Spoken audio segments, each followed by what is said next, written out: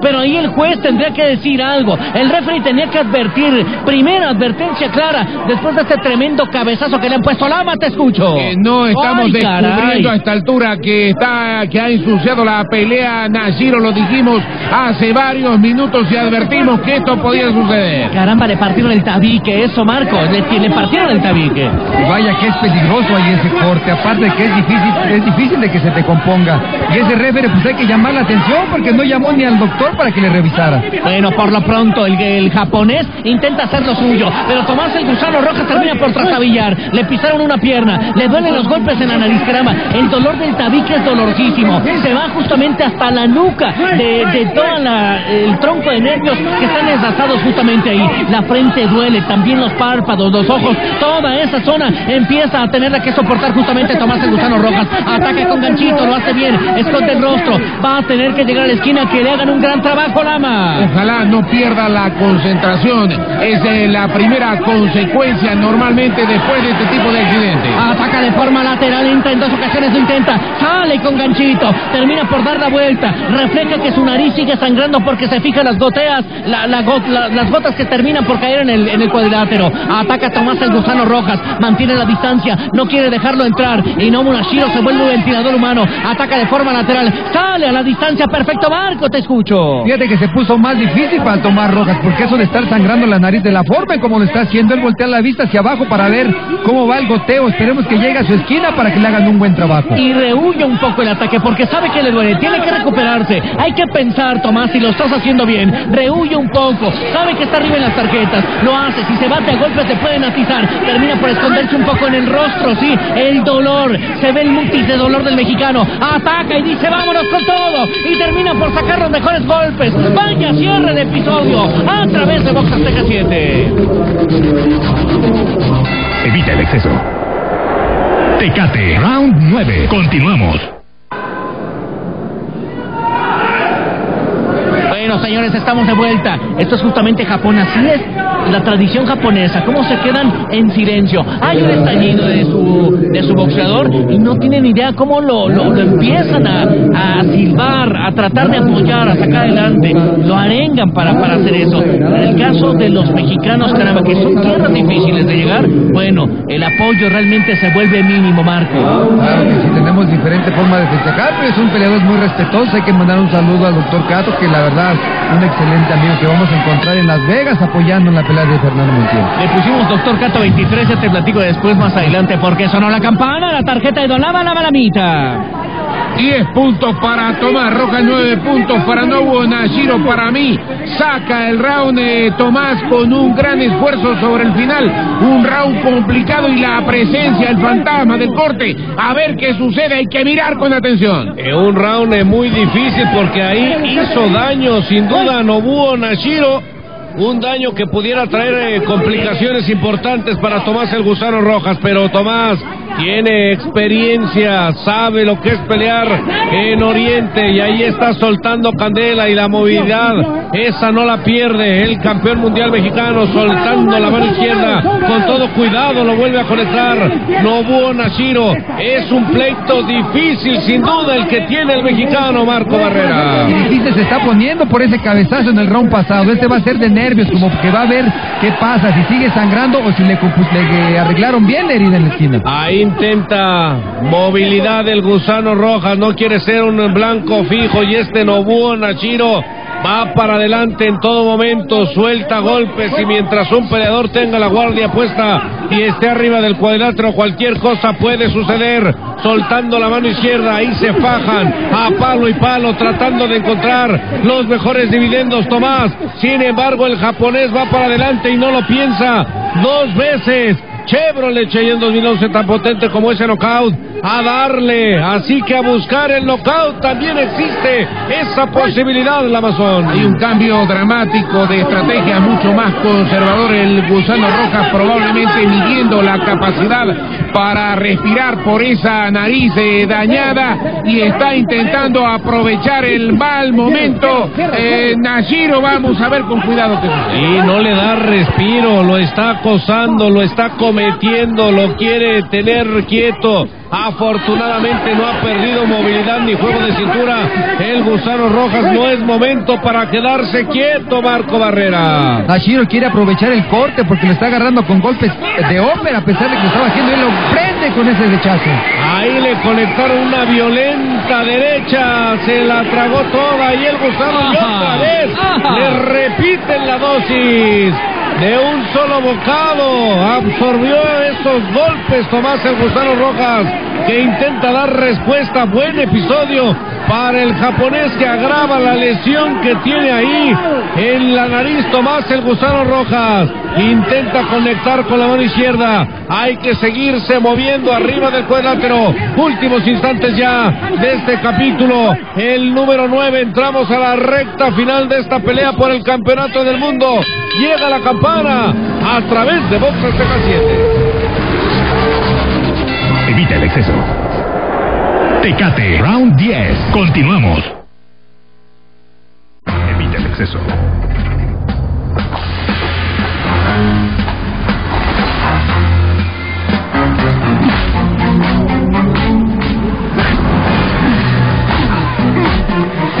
Los verdaderos hombres solo usan los guantes. Tecate, patrocinador oficial del box. Evita el exceso. Tecate. Round 10. Regresamos. Señores, continuamos a través de Box Azteca 7. Ven ese golpe, es cierto, entra objetivo, pero gira perfecto la cabeza. Movimientos que hace Tomás el Gusano Rojas. El rolling es un movimiento, Marco. Ayúdame a explicarlo. Lleva la contundencia del golpe, pero al mismo tiempo lleva el giro del cuello para tratar justamente de que el golpe no lleve toda la contundencia. Fíjate que si lo agarras como de refilón, haces el rolling para llevarte acompañar el golpe y no tenga el mismo, la misma potencia. Con la campana, la tarjeta de la mala malamita. 10 puntos para Nashiro, 9 puntos para Tomás Rojas. El round dejó en claro que el gusano está pasando por un mal momento en la pelea. La consecuencia del cabezazo en la nariz ha sido grave. Sí, caramba, y la parada que hace justamente en la esquina le ayuda. Pero Tomás sabe que necesita regresar ese boxeo contundente, ese de distancia, ese de estar moviendo las piernas, ese de cachar golpes y reaccionar al contraataque. Es lo que necesita hacer. Otra vez ya lo intenta, repito. El dolor también es enemigo. Y entra ahora no Shiro con una derecha importante. Termina por abrazarlo. Caramba, y es que el golpe, el golpe que le da respiro al japonés lo anima Marco. También lo prende y lo hace reaccionar de manera contundente. Se alimenta cuando le meten más golpes, pero está haciendo muy bien Tomás el Gusano Rojas. Está regresando, tiene que agarrar la distancia. Ya está cuidando un poco más de que no vaya a haber un cabezazo, pero está volviendo a tomar las acciones. Y termina yéndose el japonés con todo. Reparte golpes en candela. Se mueve ahora Tomás el Gusano Rojas. Bajó el ritmo, señores. Estos son los rounds importantes. Los tres que siguen. Bueno, dos que siguen y este que estamos viviendo ya casi a la mitad. Son los rounds de campeonato. Termina por moverse, camina hacia atrás. Tanto las peleas con la Chevrolet Cheyenne 2011 tienen que ganarse a darle lama, lama, lama. La fórmula para el de Veracruz es movilidad con las piernas y la mano derecha larga. No tiene que dejar de sacarla. Ha desaprovechado Tomás también la posibilidad de meter el upper de izquierda. Sabe que lo puede cachar ahí porque es del atrevimiento que tiene el japonés. Se lanza tan abierto en ocasiones que descubre la parte que viene con un golpe descendente. Termina por trabarse. Avientan al gusano que parece Panda. Da la vuelta completa, mi Marco. Ese cabezazo sí vino a desconcentrar un poco a Tomás el Gusano Rojas, como que lo sacó de esa concentración que traía, de ese plan de trabajo. Lo estaba haciendo muy bien a su distancia, pasos laterales, y ahorita se está entregando al golpe a golpe. Sí, se queda parado. Bien dicho, Marco. Buena observación. Ha perdido cierta movilidad y se ha quedado parado cuando siente las puertas por detrás. Termina por atacar ahora. Levanta el rostro justamente. Se lo mete en un Shiro que siempre ha ganado la posición ofensiva. Cuando ataca Tomás el Gusano Rojas también abre demasiado los brazos. Ahora ataca perfecto. Entra con ganchito de derecha. Bonito, bien puesto. Tambalea no un Shiro que va hacia adelante. La propuesta puede ser importante ahora de Tomás el Gusano Rojas. ¡Lava, lava, lava! Observen la calidad de los golpes. Lo de Nashiro en este round ha sido mucho ruido y pocas nueces. No ha habido golpes claros de su. Y termina por abrazarse. También Tomás tiene que recuperarse al 100%. Si se abraza, lo hace bien. Entra bonita izquierda, recta. Y ahora lo hace con jab. También lo retira. Nobu termina por abrazarse. Bien por Tomás. Cuando se le acerca, ya no recibe con una combinación simple. Uno, dos. Y después a soportar el vendaval. Termina por abrazarlo otra vez. Entra el referee. Todo eso lo ven los jueces. Caramba. Me empiezo a poner nervioso. Ataca Tomás el gusano rojas. Recibe castigo. Lo levanta de Oper bonito y lo hace justamente con la derecha. Vaya cierre, Tomás.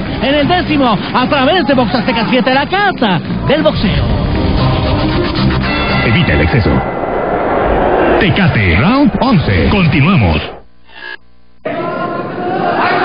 De vuelta. Nobu ha invertido en lo que ha querido, que es y en lo que ha podido. Es decir, ganar la posición ofensiva. Y me dirán, bueno, ¿qué tanto insistes con eso? Es ganar el pecho, es ganar el terreno corto, eso es ganar la posición ofensiva. En ocasiones, Marco, quererse meter ahí contra un boxeador alto implica simplemente tener el riesgo de irse al knockout. Tiene que poder agarrar un upper, pero sí lo está haciendo. Le quiere meter la cabeza al pecho para poder quedar libre y lanzar en los volados como lo ha venido haciendo una y otra vez. Señores, sonó la campana, ya lo hace. Caramba, entramos a momentos importantes de campeonato. La mala, mala, mala tarjeta. 10 puntos para el gusano roja, 9 puntos para Nobuo Nashiro.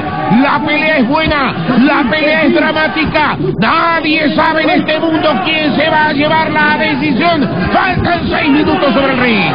Vamos, gusanito, tú puedes, es el capítulo número 11. Hay que seguir tirando golpes y saludos a toda la gente de Monterrey que nos sigue a través de Box Azteca 7 semana tras semana. Ahí intenta poner las cosas en su lugar. Tomás el gusano roja soltando la mano izquierda y la derecha. Cuidado, no hay que caer en terrenos de la desesperación. Hay que aplicar esa mejor técnica que se tiene Marco Barrera, poner las cosas en su lugar. Fíjate que así como lo está haciendo nuevamente, agarra con el jab, sale por piernas, lo cruza con la izquierda. Muy bien por el gusano y bien por su esquina también, porque ya no volvió a sangrar esa nariz. Bien arrancando este capítulo, el número 11, y esa mano derecha que había dejado de utilizar el gusano. Ahí desmaya la guardia, finta, trata de hacer algo diferente para no ser predecible el Amazon. Está buscando variantes para acompañar las variantes que le ha puesto a la pelea el japonés. El japonés insiste y creo que se la va a jugar todo por el todo buscando la victoria en los últimos minutos. Ahí otra vez el peleador japonés intenta conectar al mexicano. Este gancho tiene tanta fuerza como Chevrolet Cheyenne 2011. Siguiente round a darle y en este también, que es la penúltima llamada. Suelta el volado de mano izquierda. El gusano y Nobuo Nashiro presionando y presionando en todo momento. Sabe que la pelea está cerrada y que tiene oportunidad. Ahí buscando el abrazo Tomás el gusano Rojas. La condición física será fundamental, no hay que perder movilidad y el juego de cintura también hay que seguirlo aplicando. Se faja en serio ahí, el gusano no se queda, no se queda en movimiento, se queda quieto y ahí peligra el Amazon. Para mi gusto se equivoca en fajarse con el eh, adversario. Esto no es de ver quién es el más macho.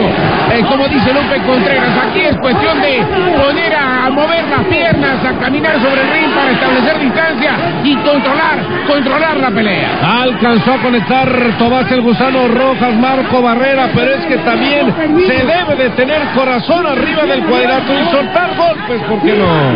Definitivamente se está prestando al intercambio de golpes, pero también ahí hizo algo diferente Gusano Rojas, como que abrió las manos, hizo una finta y tiró un upper y remató con la izquierda. Muy buena combinación. Últimos segundos ya de este capítulo número 11 que ha sido frenético, que ha sido electrizante. Y ahí va otra vez el japonés y se encasta el peleador mexicano soltando derechas e izquierdas volando por todos lados. No, hay segundo de descanso y cerrando a tambor batiente. Aquí está el peleador mexicano castigando a la región blanda. Termina el 11 y tiene que llegar el referee a separarlo. Regresamos. Evita el exceso. Tecate, round 12. Continuamos.